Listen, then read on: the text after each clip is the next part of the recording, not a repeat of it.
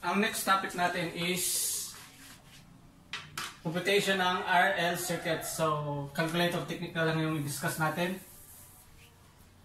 So, meron tayong problem, an RL circuit as an EMF of 10 volts. So, E is equals to 10 volts.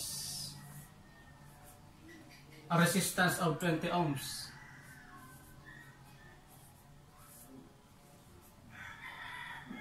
And an inductance of 4 henries.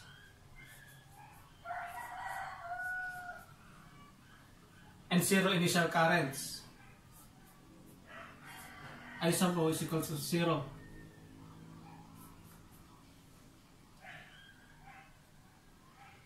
Find the current in the circuit at any time t. What is the current and voltage across the inductor at 0.05 seconds?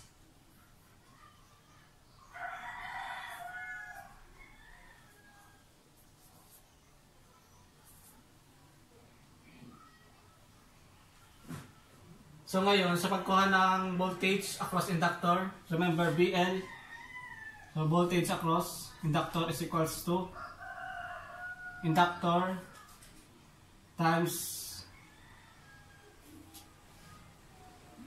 derivative of i with respect to derivative of t. So, ang kukumpitin muna natin is, hanapin natin yung i. So, kukumpitin natin yung i, i at anytime. Tapos kunin natin yung derivative.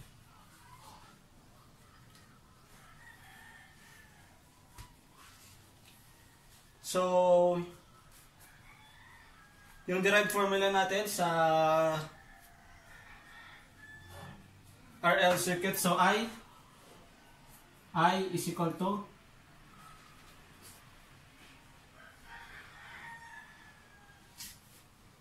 E over R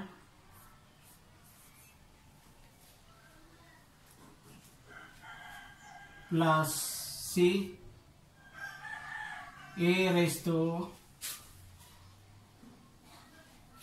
negative r times t over n. So, yan yung formula sa RL circuit. So, hahanapin natin yung value ng C. So, one, step 1, find C. Find C at t is equal to equal to 0. So ano anong mga values ng anong mga values ng ER, L, I at 0? So ER, T, L, R at 0. So pag current is 0, is equals to E over R. E over R. So, plus C. So, ang time is 0. So, time is 0. Maging E raised to 0. Magiging siyang E raised to 0. So, magiging 1 na lang to. So, ayan na. So, C is negative E over R. So, yan yung value ng constant.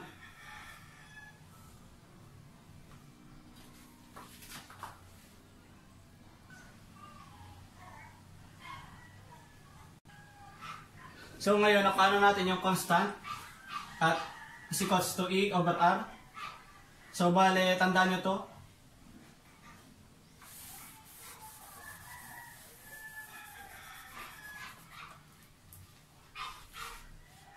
So yung yung formula ng current, so direct formula natin sa current. So yung current at any time, so ito yung formula. Ngayon, substitute natin yung value ng constant. Uh, constant. So I is equals to E over R. So C is negative E over R. E over R. e raised to negative RT over L.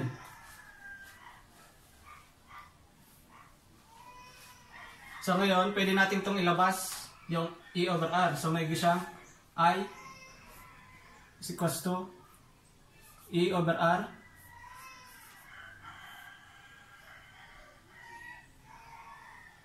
one minus E raised to negative R times T over L. So, substitute natin yung mga values. So, yan yung value ng current. Current at anytime. Anytime. So, I I is equal to E is 10. R is 20. So 1 minus E raised to negative. So R is 20. 20 times T. Kasi ang hinahanap natin is at any time pa lang ha. Over inductor na 4. So yan yung sagot dito sa uh, find the current in the circuit at any time t. So ito yung sagot. So tandaan niyo tong formula. So ngayon hanapin natin yung current at 0.05 seconds. So nakano natin yung current at any time. So bale substitute, substitute na lang natin yung value ng t para makuha natin yung current. So bale tandaan niyo to. So ngayon hanapin na natin yung current. So current I at 0.05 seconds. So I is equals to 10 over 20 quantity 1 minus E. Raised to negative 20 times T na 0.05 0.05 over 4 so hanapin na natin. So I is input nyo sa calculator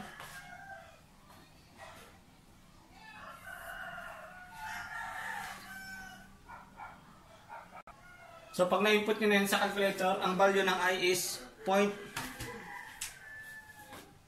0. Point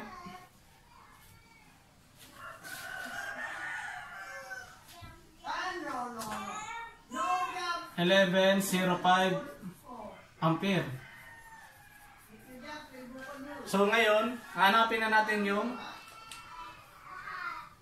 derivative. So ito na yung sagot para sa ampere. Ngayon yung voltage na, na voltage na yung kukunin natin. So, voltage across inductor is equals to L times derivative of I with respect to T. So, gagamitin natin yung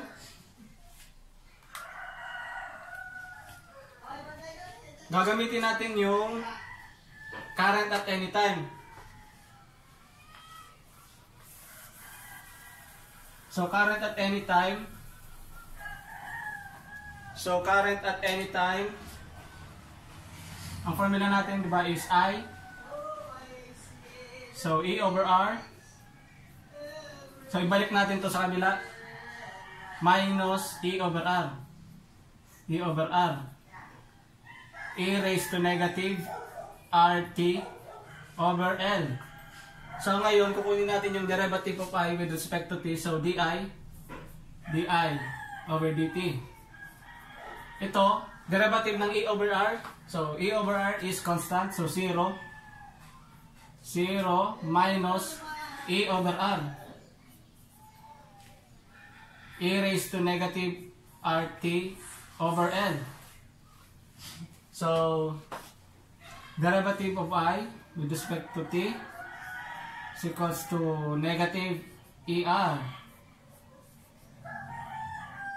E raised to negative R. Yung, yung T is, gawin natin constant. So, Rx over L. So ngayon, substitute natin yung mga values. So derivative of I with respect to T. So input na natin sa calculator. So ano ba yung i-input natin sa calculator? So derivative ng negative E over R. E raised to negative Rx over L as X approaches to 0.05 seconds.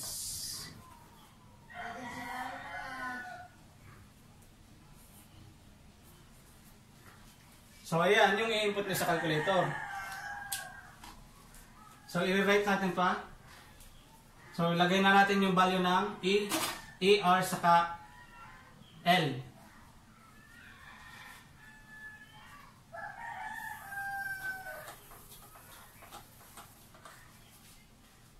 So ang E is 10.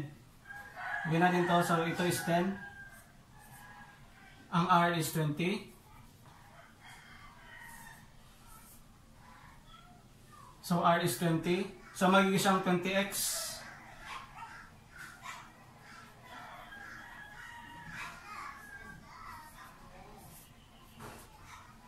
Ang L is 4.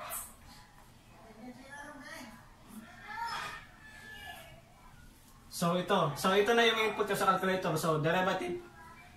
I-derivative na lang. So input ko sa calculator. So calculator technique na lang yan. So meron na tayo nito. Pag na-input nito, meron na tayong DIDT. So ngayon, input nyo na sa calculator. So, ayan. Pakita ko lang ha. Yan. So, x is 0.05 tapos equals nyo lang. So, 1.947.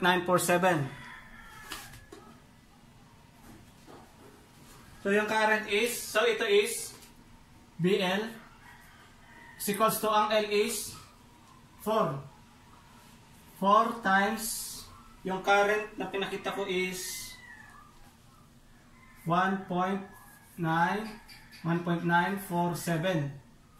So voltage across is times 4 7.78 7.78 volts. So yan yung sagot.